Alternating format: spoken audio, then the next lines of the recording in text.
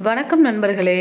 Welcome to Arasalaiya learning channel இன்றைக்கி நம்ம word power made easy in தமிழில் session ஃபைவ்ல பார்ட் டூ பார்க்க போகிறோம் நம்ம பார்த்துக்கிட்டு இருக்க headings origins and related words session ஃபோர்லேருந்து session six வரைக்கும் உள்ள வீடியோஸு என்னென்ன ஃபீல்டில் என்னென்ன ஸ்பெஷலிஸ்ட் இருக்காங்களோ அது கனெக்டட் டெர்மினாலஜிஸை நம்ம பார்த்துக்கிட்டு இருக்கோம். இந்த இந்த வீடியோக்கு முன்னாடி போட்ட வீடியோவில்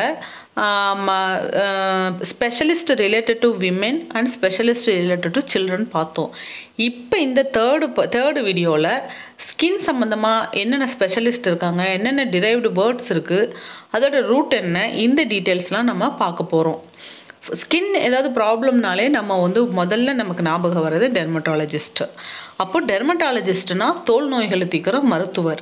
A medical practitioner qualified to diagnose and treat skin disorders இவங்கள தான் நம்ம டெர்மட்டாலஜிஸ்ட்னு சொல்கிறோம் டெர்மட்டாலஜிஸ்ட் அப்படிங்கிறவர் ப்ராக்டிஸ் பண்ணுறவர் எதை ப்ராக்டிஸ் பண்ணுறாரு அதுதான் டெர்மி டெர்மட்டாலஜி தோல் நோய் இயல்ங்க. A branch of medicine concerned with diagnosis and treatment of skin disorders அதை நம்ம டெர்மட்டாலஜின்னு சொல்கிறோம் இப்போது டெர்மாங்கிறது ஒரு க்ரீக் வேர்டுங்க அந்த வார்த்தைக்கு skin அர்த்தங்க.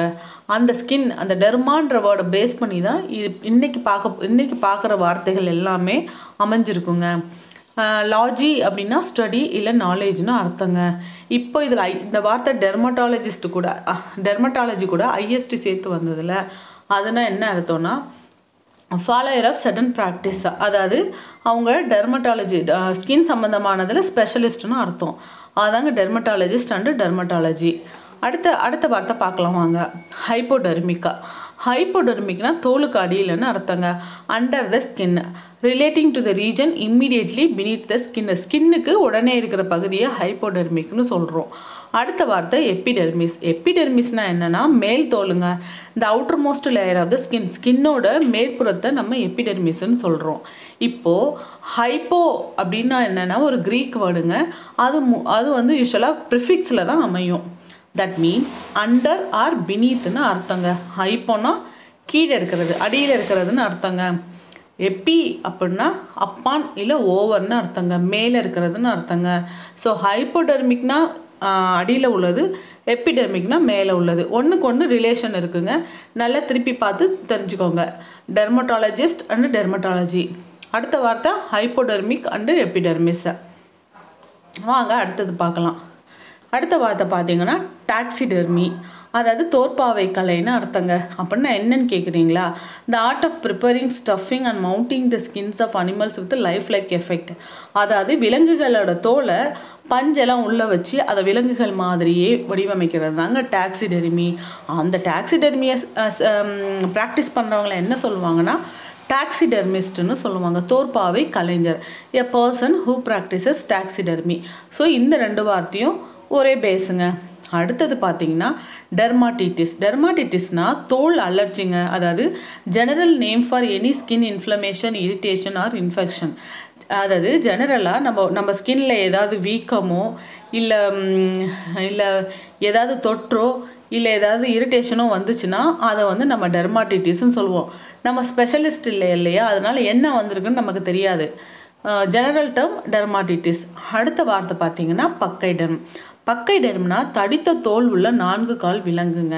A very large mammal with an unusually thick skin இப்போ மேமல்னால் நமக்கு என்னென்னு தெரியும். வெறும் வெரி லார்ஜ் மேமல்னு சொல்லியிருக்காங்க. எலஃபண்ட் ரினோலாம் இருக்குது இல்லைங்களா?